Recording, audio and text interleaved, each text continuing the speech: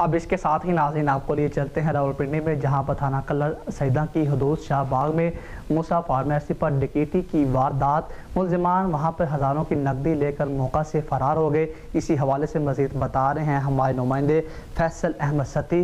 जी फैसल, बताइएगा। जी, रावलपिंडी थाना कलर सैदा के इलाका शाहबाग में सर शाम डकैती की वारदात।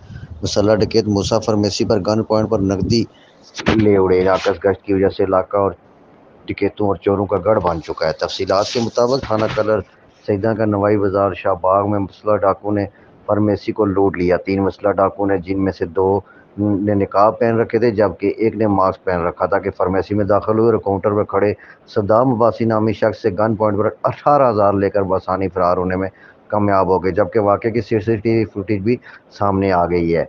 मूसा फार्मेसी पर तीन माह कबल भी चोरी की वारदात में मुलजमान ने ताले तोड़कर नकदी और सामान लेकर फरार हो गए थे।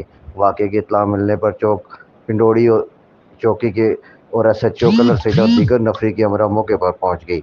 अवामी हल्के का कहना है कि नाकस गश्त के निज़ाम से इलाका चोरू डकेतों की मजगा बन चुका है जबकि पी एच पी की गश्त भी होटलों पर खड़ी रहती है जिससे अवाम आए रोज़ लुट रही है और चोरी डकैती की वारदातों में मुसलसल इजाफा हो रहा है। अहल इलाका ने पुलिस के सीनियर अफसरान से मुलजमान की जल्द गिरफ्तारी और मौसर पेट्रोलिंग का मुतालबा किया है।